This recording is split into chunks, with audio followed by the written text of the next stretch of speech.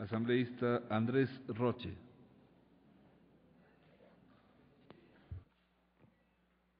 Presidente, señoras legisladoras y legisladores, brevemente, comparto plenamente que esta ley hoy en día, de acuerdo a la estructura organizacional del Estado, territorialmente y de acuerdo a las competencias que hay, ya no debe ser materia de la legislatura, sino de los gobiernos locales que son los competentes hoy en día en esta materia.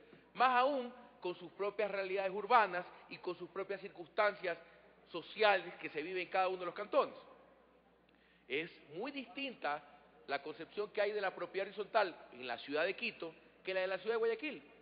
Son totalmente distintas. Como también es distinta la de la ciudad natal del presidente de la Asamblea, de Cuenca, en donde juega mucho lo patrimonial. Pero, sin embargo, hay que ubicar el contexto de esta ley. Y es importante ver el contexto en el que se circunscribe el artículo 7. No es pues una reforma alegre o, o sencilla. ¿Qué es lo que protege o qué es lo que tutela el artículo 7? Tutela los cambios estructurales de una edificación, porque la edificación con un mal cambio estructural se puede venir abajo y pone en riesgo a todos los demás copropietarios. Protege lo urbano, la fachada del edificio. Por eso es que el legislador de aquella época puso esa salvedad, que sea unánime. Es cierto que la, eh, unanimidad en este tipo de decisiones ha complicado ciertas decisiones en el edificio, en cosas pequeñas, como los cambios internos de los departamentos, que repito, podrían conllevar a que alguien, por ejemplo, tumbe un pilar interno y ponga en riesgo la estructura del edificio. Entonces, por eso estoy de acuerdo que se pongan los dos tercios, pero por pasar por dos filtros. Primero, que se presente al, comité, a la directiva, los planos estructurales, lo que se va a hacer, y luego con el informe del comité se pase a la general. Yo si dejara el primer filtro en la unanimidad y como segundo llamamiento pusiera los dos tercios. ¿Se podría poner los dos tercios? Perfecto, si esa es la decisión del Pleno. Pero siempre creo que por la salvedad de los copropietarios, por su seguridad, por el respeto a los demás ciudadanos en lo, que respecta la fachada y las culatas de los edificios ante la, ante la ciudad en sí, debe darse este filtro de el análisis técnico estructural dentro de la directiva. Creo que es importante dos aclaraciones.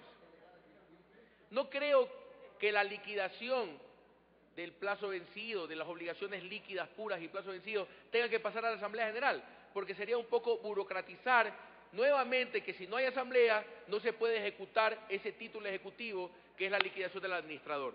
Creo que ya está garantizado el copropietario en las normas constitucionales y del código respectivo, el Código de Procedimiento Civil, con respecto al debido proceso.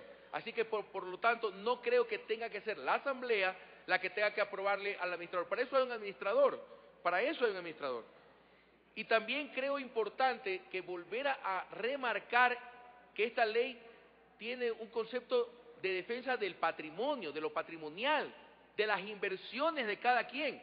Por eso es que las votaciones van conforme a las alícuotas, porque quien más ha invertido quien tiene un departamento de 150 tiene mayor capital en riesgo que el que tiene uno de 100, de 100 metros cuadrados. Entonces, es evidente que lo que la ley busca, que su votación sea conforme a las alícuotas, es proteger la inversión que uno ha hecho. Es por esa razón.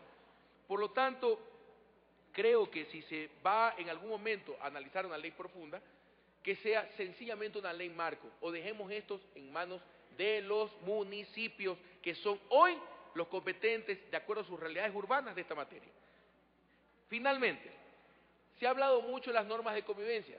Si bien es cierto, también es un rango municipal, creo que deberíamos tener en una ley marco que las decisiones de la Asamblea, que las decisiones del administrador de las normas del bien común, las normas de convivencia, tienen que contar con el auxilio de la fuerza pública. ¿Qué pasa si el día de mañana alguien intenta cambiar la estructura del edificio y no se puede contar con la fuerza pública eh, sería evidentemente palabra muerta o ley muerta lo que decida la Asamblea. Lo propio con la convivencia de los seres humanos dentro de una organización. Hay hoy normas nacionales, por ejemplo, contra el ruido. Es evidente que si una familia excede el ruido, está atentando al descanso de los demás, el administrador debe contar con el auxilio de la fuerza pública. Si son normas hoy de, carácter nacional, Creo que esos pequeños detalles deberíamos recogerlos bajo la insistencia de que esto debe ser normado por cada uno de los órganos competentes. Gracias.